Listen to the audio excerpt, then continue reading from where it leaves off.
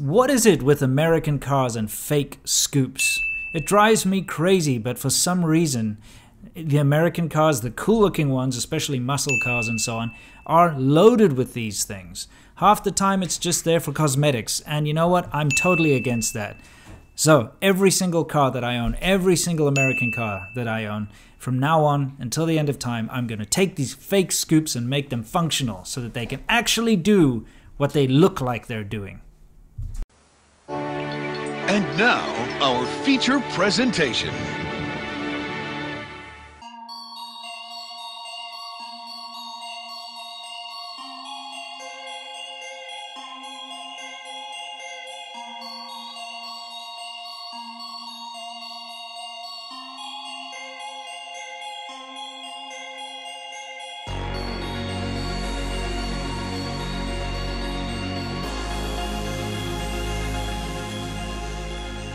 So what is this piece of trash lying on my garage floor? Well, it's part of a fairly expensive set that I bought off of eBay.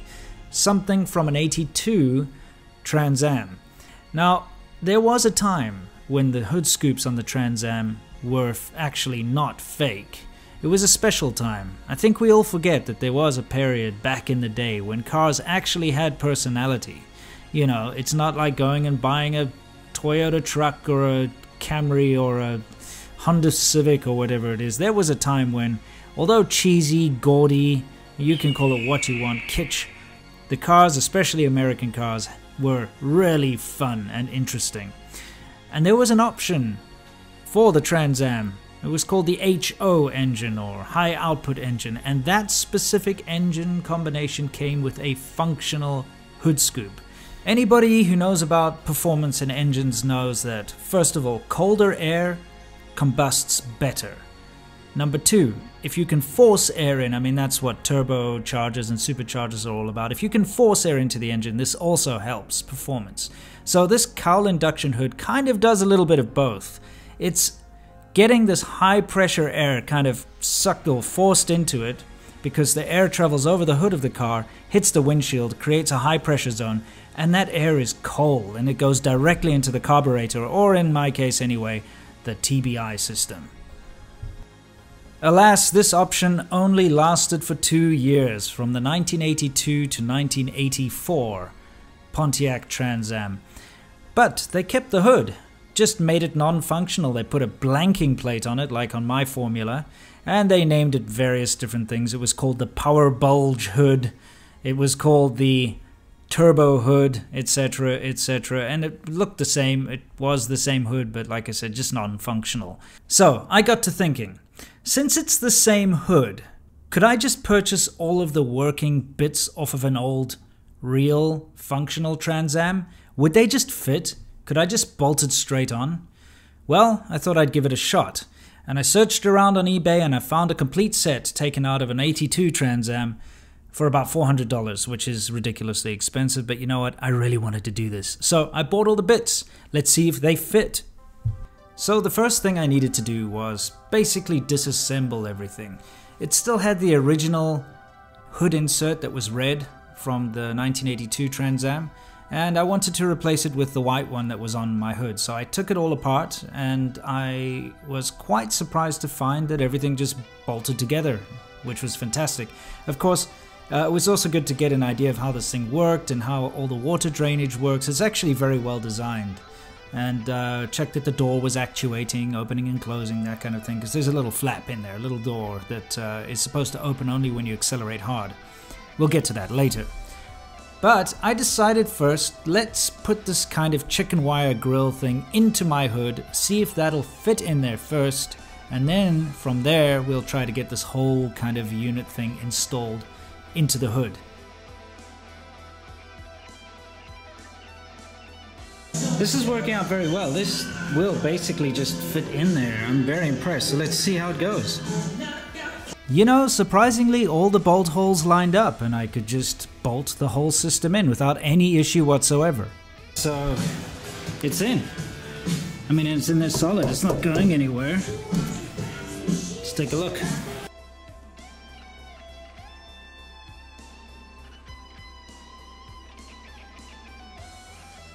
Now there's this little actuator motor which opens a flap in there.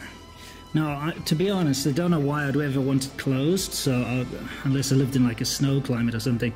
Probably gonna jam it open, but let's see if this works.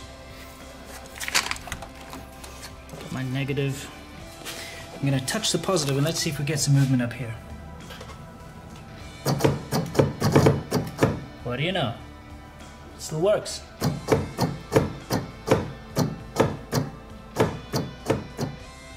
And yeah, I just ended up jamming it open anyway. In the future I'll probably put a switch so that I can manually turn it on and off from inside the car. But you know what? I've tested it in the rain. If I have to go through a car wash, I can just put a piece of plastic over the, the covering on the inside of the hood.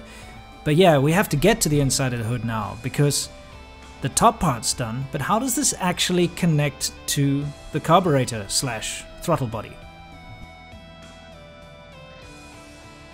Well, with all the bits that I bought from eBay, it actually came with a whole air cleaner unit. And how it worked on the older cars is there's like a rubber gasket which fits between that device on the hood and the air cleaner, the top of the air cleaner. And then of course the air comes in and is forced directly into the throttle body. Thing is, I didn't know how it would all line up.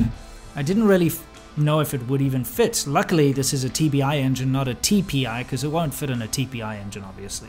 But after playing around a little bit and actually cleaning up the lid from the other air cleaner, I realized I could just stick it on top of my existing air cleaner.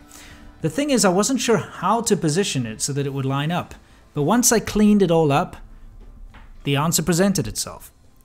I was always wondering how you line it up, but there it says snorkel. I didn't see that before because it was so rusty and crap. So you obviously place this where the snorkel goes. Show you. So these cars are very restrictive when it comes to air intake. It's only got a single snorkel, and that's how it gets all of its air. And that snorkel is where you line it up. You put the arrows on either side, and guess what? It lines up perfectly. Now, to test, obviously, I had to put it all together. I stuck a GoPro underneath the hood slash bonnet lowered it down just to make sure that it was actually sealing up and in the correct place, and guess what? It was.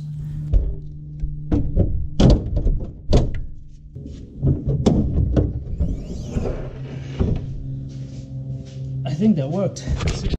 so now, theoretically, when I start this up, we should be able to hear the air being sucked in. Let's find out. This is going to be fun.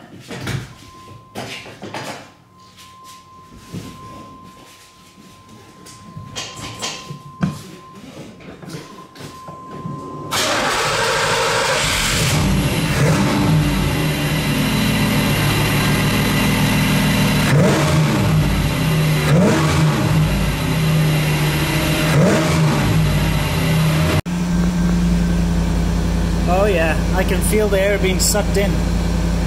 That's awesome. That is just freaking awesome. It's now functional.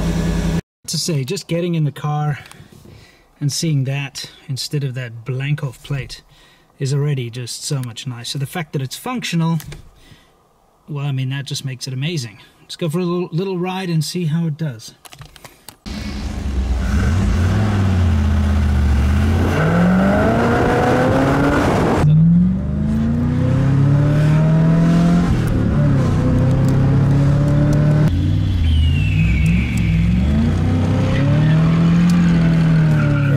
Not gonna play around here. Doing this little modification definitely increased the responsiveness and the power of this car.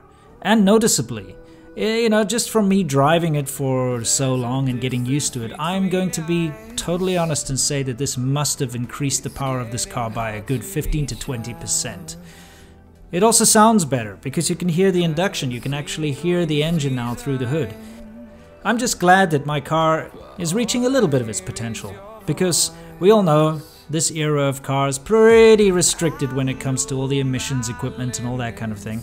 But doing something like this, well, it fits on the car like it's supposed to. It really gives me the satisfaction that I've improved the thing. And it's cool as all hell. Anyway, guys, thank you very much for watching. I hope you found it interesting, and until next time, you know the drill. Do all that car guy stuff like not crashing and riding off of cliffs and, and all that. And uh, see you in the next one.